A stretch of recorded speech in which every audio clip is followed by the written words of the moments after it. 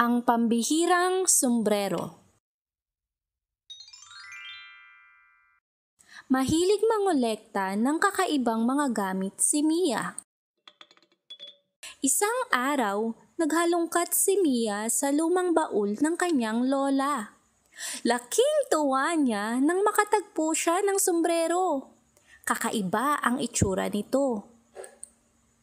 Humarap si Mia sa salamin para sukatin ang sombrero. Sinubukan niyang isuot ito sa iba't ibang paraan. Ngunit naisip niya, bakit parang may kulang? Lumabas ng kanilang bahay si Mia at nagtungo sa tindahan sa tapat. Magandang umaga, Manang Sol! Pati ni Mia. Maganda po ba ang aking sombrero? Oo, Mia, pero mas maganda kung lalagyan pa natin ng alkansya. Sagot ng tindera. Nagulat si Mia sa handog sa kanya. Salamat po, Manang Sol, sabi ni Mia. Sunod na pinuntahan ni Mia ang panaderya. Mang Rico, tawag ni Mia. Maganda po ba ang aking sombrero?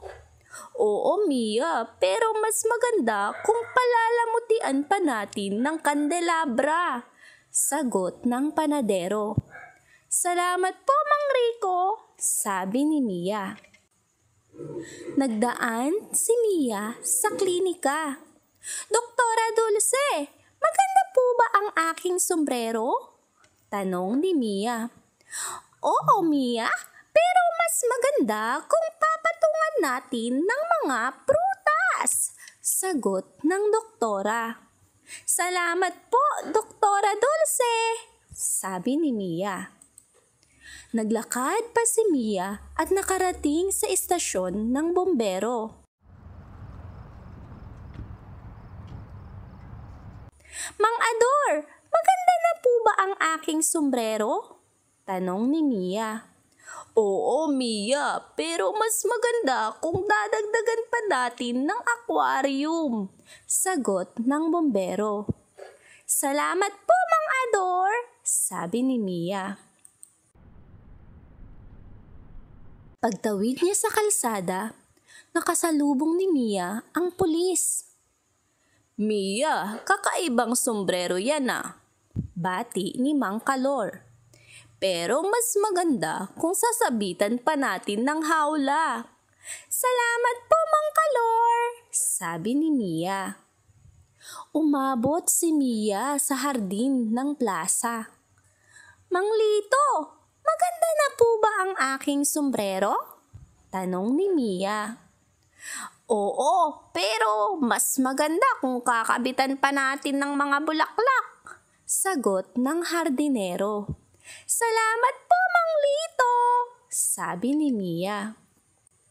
Pagdating sa palaruan, napakarami ng palamuti sa sombrero ni Mia. Mia, itong saranggola na lang yata ang kulang dyan, sabi ng kanyang kalaro. Sandali lang, Toto! Sigaw ni Mia.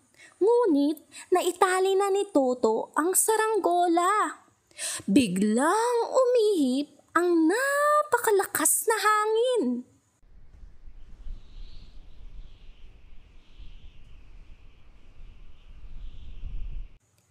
Kumapit si Mia sa kanyang sombrero at natangay siya paitaas. Nakarating si Mia sa mga ulap Biglang lumobo ang kanyang sombrero at naging isang napakalaking parachute. Nang tumapat ito sa araw, nakita ng lahat ang angking ganda ng sombrero.